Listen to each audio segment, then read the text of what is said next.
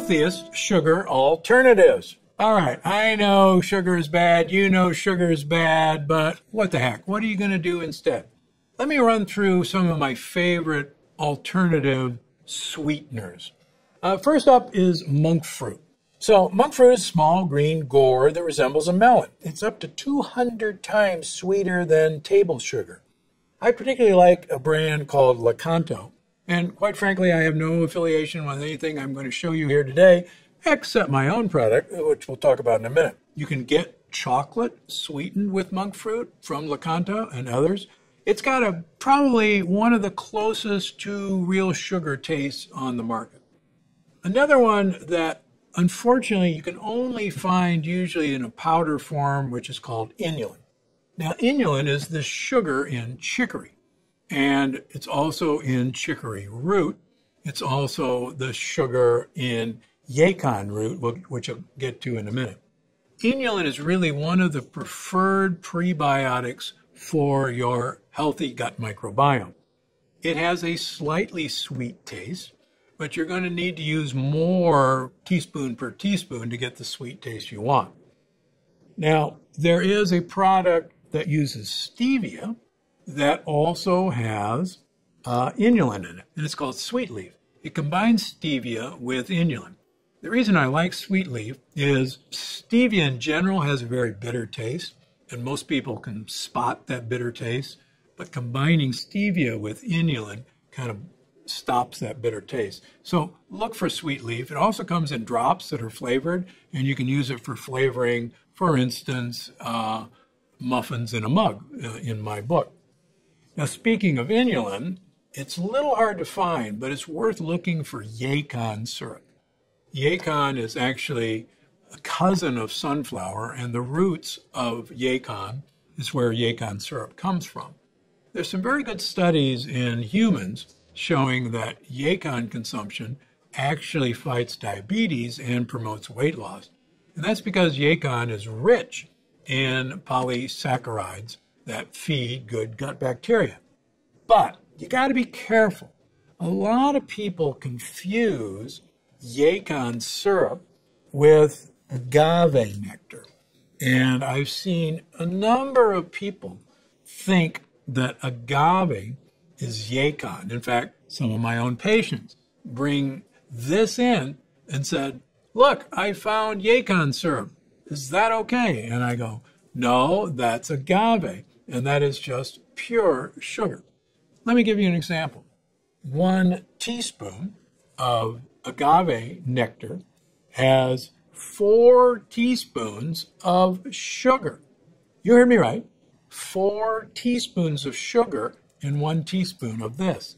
On the other hand, yacon syrup has a half a teaspoon in a teaspoon of this. Totally different. Don't confuse the two. Unfortunately, I see it with my patients. Now, you can also find my favorite sweetener, which is called allulose. Now, allulose is unique. Allulose is a true sugar, it's a rare sugar.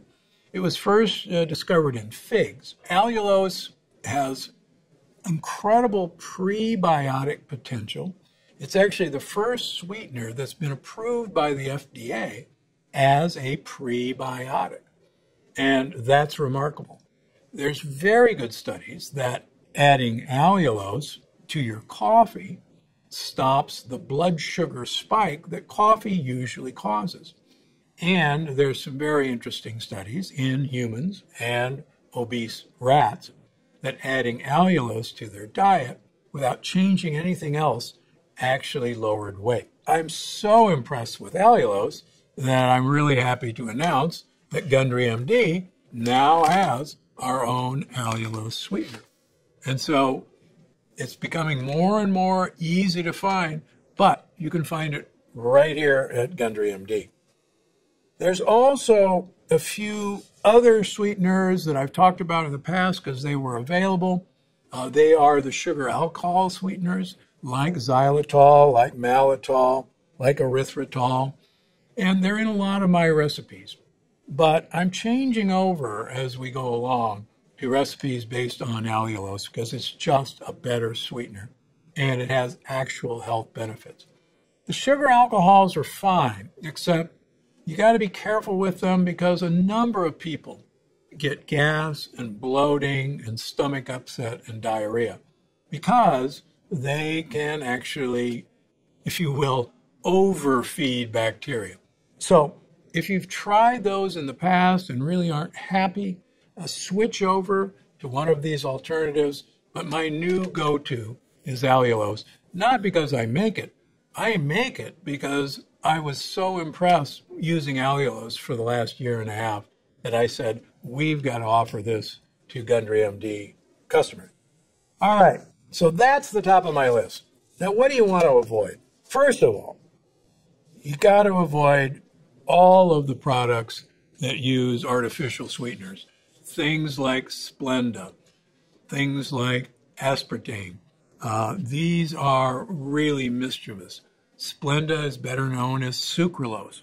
And unfortunately, so many ready to eat bars, so many soft drinks that say no sugar added still use one of these artificial sweeteners, particularly sucralose, as their sweetener. In fact, a Duke University study in 2007 showed that one packet of Splenda, aka sucralose, actually killed off 50% of your gut bacteria. And study after study show that these artificial sweeteners actually promote weight gain, partially because they're changing your gut bacteria for a bad set of bacteria. Also, remember, any of these sweeteners, your tongue has no sugar receptors. It has sweet receptors. In fact, two thirds of your tongue are sweet receptors. Why? Because way back when, we needed fruit to gain weight for the winter. So we would seek out the sweetness in fruit and we would eat more and more of it. When you have a non caloric sweetener that hits the sweet receptors, your brain has no idea that a non sugar substance could be hitting your tongue because it didn't exist. Your brain assumes you ate sugar. It actually increases your insulin to get ready for the sugar your insulin crashes your blood sugar, your brain says, hey, wait a minute, no sugar arrived. You've been cheated. Go back and find some more. And one of the reasons I was 70 pounds overweight, because I was drinking eight Diet Cokes a day. And I was constantly hungry because my brain kept telling me, you got cheated, go find some more. And another Diet Coke and another Diet Coke would do the same thing. All right, what do you want to avoid? Be careful of things that sound natural. Natural sugar is still sugar. You can put lipstick on a pig, it's still a pig, which is on my ties. So, turbinado, cane sugar, is cane sugar. Maple syrup. For instance, two tablespoons of maple syrup has 24 grams of sugar divide by four because there's four grams of carbohydrate in a teaspoon of sugar. Two tablespoons of maple syrup has six teaspoons of sugar. That's two tablespoons of sugar. Yet you see, oh, maple syrup has no sugar. It's maple syrup. That's nonsense. It's still pure sugar. I've already talked about how you can be duped by agave syrup and coconut sugar. This is one of the latest dupes. Unfortunately, there are actually eight grams of carbohydrate in two tablespoons, and there's eight grams of sugar. There's two teaspoons of sugar per serving. And what you're going to find out is two tablespoons of coconut sugar doesn't sweeten enough, and you're going to use more and more. So please don't be fooled by what sounds natural. Sugar is sugar is sugar, no matter what form it sounds natural in. If you're going to need sweetening, these are the ones to go for. And like I said, my new favorite is allulose. Try it. I think you're going to be really impressed. I think you're going to love this one because mushrooms have incredible properties that you should know about to improve your health, your brain health, and your longevity.